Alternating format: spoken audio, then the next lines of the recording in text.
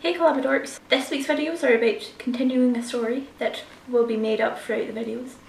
As the TARDIS appears in front of them, Charlie suddenly exclaims, About time! The others look at her. Yes, her. You'll see why in a second. As they do this, a man appears from the TARDIS and says, Right, you lot, get in. That's kind of what my impression of what the new Doctor's going to be like, because Peter Capaldi. They all clamber on and as the others start to take in what is the inside of the TARDIS, Charlie asks the doctor what are they this time and the doctor explains all about the Daleks and how they've improved since they last met them and how he's not quite sure what to do and could probably do some help.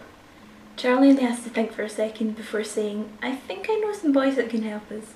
After a short journey in the TARDIS, which ends with Frodo being sick in a bucket, they end up outside an old bunker.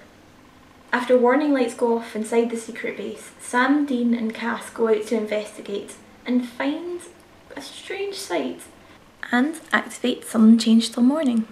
I think where I was going with this story is that I wanted to add another kind of fandom into this or something and I didn't know where to go with it and I just don't know what to do now.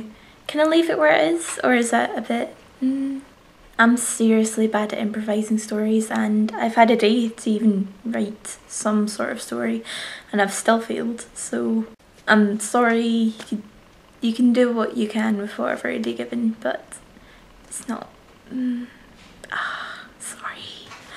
Bye